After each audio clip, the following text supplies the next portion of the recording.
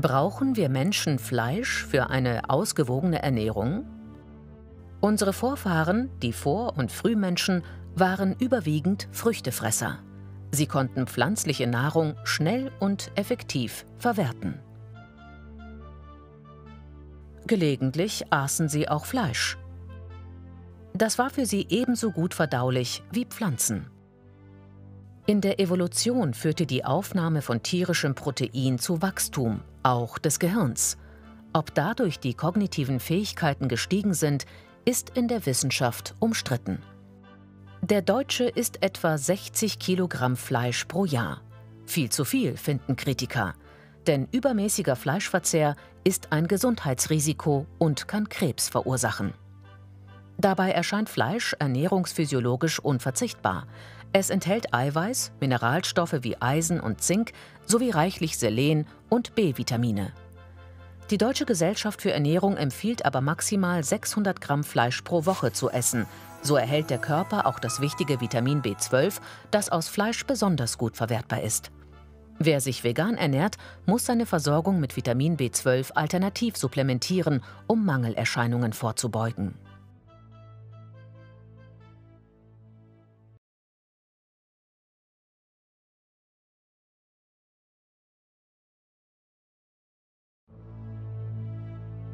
Brauchen wir Menschen Fleisch für eine ausgewogene Ernährung?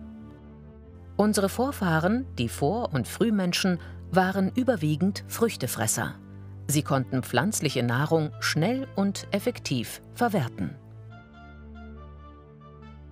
Gelegentlich aßen sie auch Fleisch.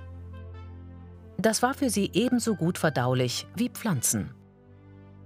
In der Evolution führte die Aufnahme von tierischem Protein zu Wachstum, auch des Gehirns. Ob dadurch die kognitiven Fähigkeiten gestiegen sind, ist in der Wissenschaft umstritten. Der Deutsche isst etwa 60 Kilogramm Fleisch pro Jahr. Viel zu viel, finden Kritiker. Denn übermäßiger Fleischverzehr ist ein Gesundheitsrisiko und kann Krebs verursachen. Dabei erscheint Fleisch ernährungsphysiologisch unverzichtbar. Es enthält Eiweiß, Mineralstoffe wie Eisen und Zink sowie reichlich Selen und B-Vitamine. Die Deutsche Gesellschaft für Ernährung empfiehlt aber maximal 600 Gramm Fleisch pro Woche zu essen.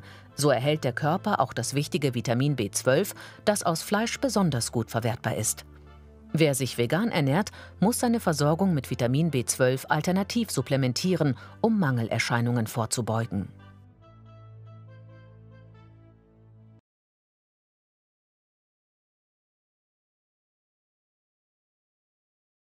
Brauchen wir Menschen Fleisch für eine ausgewogene Ernährung? Unsere Vorfahren, die Vor- und Frühmenschen, waren überwiegend Früchtefresser. Sie konnten pflanzliche Nahrung schnell und effektiv verwerten. Gelegentlich aßen sie auch Fleisch. Das war für sie ebenso gut verdaulich wie Pflanzen. In der Evolution führte die Aufnahme von tierischem Protein zu Wachstum, auch des Gehirns. Ob dadurch die kognitiven Fähigkeiten gestiegen sind, ist in der Wissenschaft umstritten. Der Deutsche isst etwa 60 Kilogramm Fleisch pro Jahr.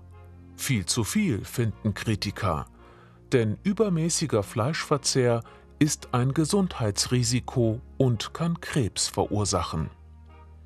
Dabei erscheint Fleisch ernährungsphysiologisch unverzichtbar.